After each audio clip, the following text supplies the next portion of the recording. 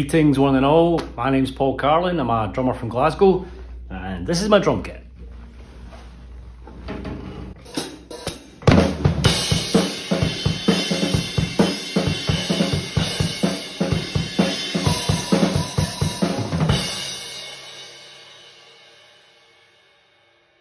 So I've been playing drums for about 30 odd years. Got my first kit in when I was 14 and I was getting drum lessons at school as part of my music classes, which was great. Shout out to my old drum teacher, Mr. McDonald, um, who taught me a lot of stuff. I played in bands all through my youth and into my 20s, and then uh, my late 20s, I joined a band called Dan and Ann and. We had some okay success, played some other bands like American Men, um, and I'm now playing in a band called Jutland Songs. This is our rehearsal space. We share it with a bunch of other bands, uh, but this gives you a good example of what a lot of rehearsal spaces like. This one's in the East End of Glasgow um, in a big warehouse, and you can you might be able to hear some other bands playing in rooms around me. This is my drum kit. Uh, it's a Gretsch Catalina Club. There are a multitude of kits available to you. Some are very cheap, some are very expensive. Uh, I started out with an absolute banger of a kit, um, which was extremely cheap, but that's how I learned to play. And uh, to be honest, if you're a good drummer, you can make any kit sound good. Um, so this one I bought second hand. Um, I have a wee guy in Edinburgh. Um, obviously, you'll see some cymbals here as well. I'll walk you through the kit and tell you what each thing does. Um, as you can see, this is a little bit of wear and tear because I'm a drummer and I play it quite a lot. So right, we'll start with the kick drum. So this is the kick drum and that's a kick pedal here. So you might recognise that as, you know, it's basically the basis of all drums. Um, really, very, very rarely will you ever see a drum kit without a kick drum on it. Next up, it's the snare drum, which is this drum that sits just kind of right between your knees here. It's got quite a kind of uh, rattly sound to it. Um, as you can see, the head for mine's been quite well worn. It probably needs change soon. Uh, drum heads are quite expensive, uh, but you can get a lot of life out of them if you treat them well. Um, this uh, snare drum I've got, uh, I bought a few years ago. It's a Tama. It's very, very nice. Um, these two are your toms or tom toms. Uh, rack tom, floor tom. Why is it called the floor tom? Because it sits on the floor. Why is it called the rack tom? Because it's on a rack. Uh, next up, hi-hats. Um, so, uh, hi-hats are, use, use a, a, pedal like this to kind of put the, the, thing up and down. There's a clamp here to make the distance between the hats a bit higher. Um, I mean, they look a bit like hats, I suppose. Um, you'll use hi-hats frequently playing drums. Uh, I've got three different cymbals. Uh, first up is the ride cymbal. So that's more used for sort of rhythm rather than accents. Your accents are on your crash cymbals. I've got two here. As you can tell, they sound different. Um, this is known as a dark crash, it's a wee bit heavier. Um, this is a big old, it's called a crash ride, you could play it as a ride, but the reason that I go for cymbals like that is because they are loud, um, and when you're playing rock music, that is kind of what you want.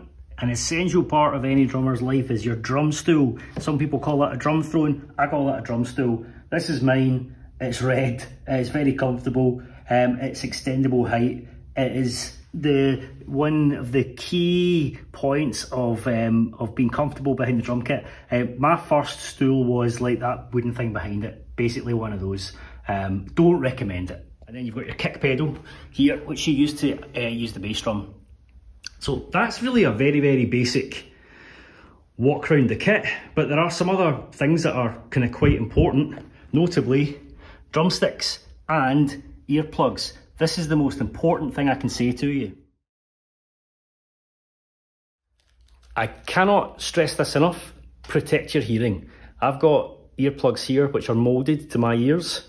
You can buy foam earplugs for pennies. You can buy ear defenders some people use cotton wool. Uh, invest in protection for your ears because while you can replace anything you see here, you can buy a new head, you can buy new cymbals, you can certainly buy new sticks, you can't buy new ears.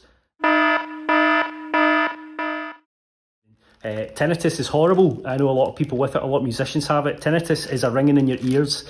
um, that you get when you've been exposed to uh, really loud frequencies and volumes. So if you're learning to play drums, please protect your hearing. I'm grateful I did. Um, investing in these wee moulded earplugs was the best investment I've ever made, even better than anything you see behind me. Uh, let's talk about sticks. Um, there are a myriad of different brands available. Um, the brand I use is ProMark because they are the ones I've just been playing with for many years. They come in different kind of woods. So these are hickory, these two here. I think these are oak. Yeah, these are Shirakashi oak, these ones on the left here. Um, oak sticks tend to be a bit more durable than hickory. You can get sticks in maple. Uh, there's some kind of uh, carbon fibre plastic sticks on the market as well. Um, a lot of people use those. Um, you'll find the ones you like eventually. So setting up a kit is like the princess and the pea for me. I can never get it perfect. And there'll be times during gigs where my hi-hat is moving away from me or the kick drum moves or you'd realise that your cymbals are just not quite right. So I think it's really important that a drummer takes their time to get everything set up in a way that's comfortable.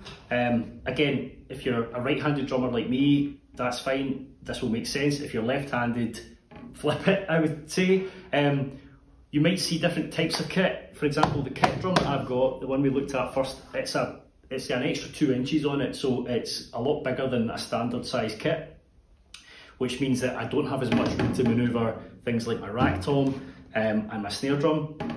So that's just something that as a drummer you have to make concessions for. Um, the great thing about everything I have in front of me is that everything's adjustable. You know, if I want to put this cymbal a bit higher up, I can. Um, if I want to angle this rack tom to be a bit flatter, I can.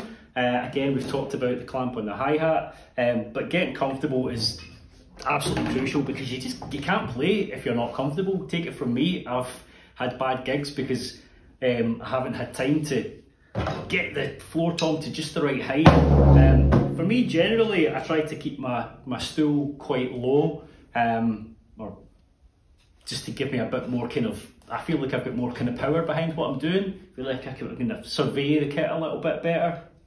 Um, so, comfort is everything. Um, hearing protection is everything. Uh, don't worry about having great gear from the start. You know, I started with a kit that had two rack toms or attached to the snare drum. I had one cymbal, a hi-hat, snare drum, and it sounded like, you know, it wasn't a very good sounding drum kit, but there's something to say. I, I do think this. I think when you're playing with restrictions, you do potentially become a better drummer because you're, I don't know, maybe you've got to be more creative in what you do. Um, everyone plays drums differently in terms of how you hold the sticks. So uh, I play like a rock drummer. So for me, I, I hold the sticks um, like this in my hand and you've got a little bit of give and go. So you're sort of between your forefinger and your thumb um, and then you can use your the palm, the base of the palm of your hand to um, get a wee bit of leverage like. Um, you might see some jazz drummers who play sort of side on this, um, military style drumming as well. You see quite a lot of that. Um, also, some people use brushes, which is a you know it's a, like a metal or a plastic brush, which gives a kind of softer um, attack on the drums. Um, mallets can work quite nice in drums. You know, use a mallet on a, a cymbal, you can get a nice sort of shimmery sound. Um, so plenty of other drummers out there. Uh, social media and, and, YouTube are full of excellent drumming masterclasses from drummers far better than me. Um, for me, I got into drums through Nirvana. Dave Grohl, who obviously in Foo Fighters 2 was, was my guy. Um, I just was obsessed with the way he played, really heavy hitting, big personality, he had long hair, he looked really cool, but he could back it up with some really good chops. Um, although my teacher was a jazz drummer, so he taught me how to sort of add little flourishes of sort of finesse um, to back up sort of hitting, hitting hard.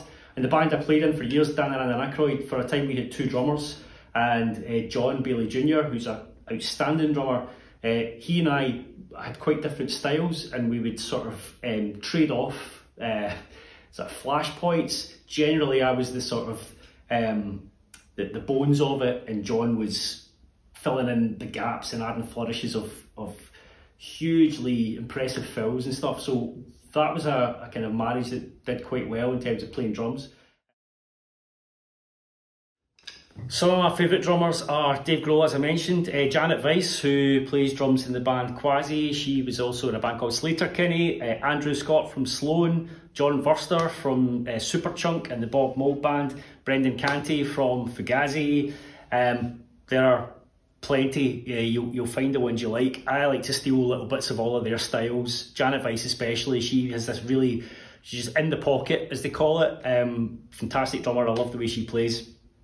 And I've just nicked bits of different drummers over the years and, and kind of developed them into the way I play drums. I don't really have a style, I just like playing drums. I like indie rock. Um, and I think that's why I'm still playing drums 30 years later. One of the reasons why I still love playing drums after all these years is the emotional and physical release that it brings. If you've had a rotten day at work, if you've had a rotten day at university, college, school, just a rotten day in general, whacking um, the living daylights out of a drum kit can be a very cathartic experience. And not just the actual physical act of it, there's something about playing music that is certainly releases happiness hormones in me, um, makes me feel a lot better, makes me feel just you, all the stress of that day is gone. Hanging with your friends, um, playing music is a truly great thing. Um, so, uh, from that sense, I recommend playing drums enormously. I hope this has given you some kind of inspiration to pick up a pair of sticks, put in some earplugs, find a drum kit. I mean, I learned playing with knitting needles on pillows in my mum and dad's bedroom when I was a kid, and then I elevated to pots and pans. Um, so even if you've got knitting needles and pillows, you can still bash out a rhythm. Um, good luck.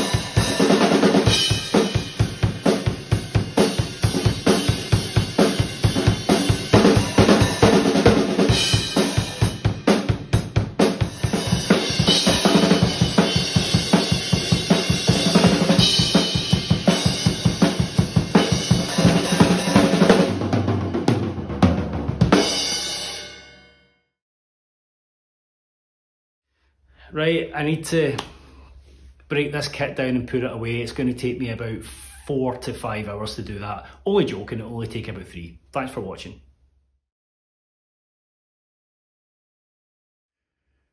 Folks, it's not all glamorous. The loadout ain't fun.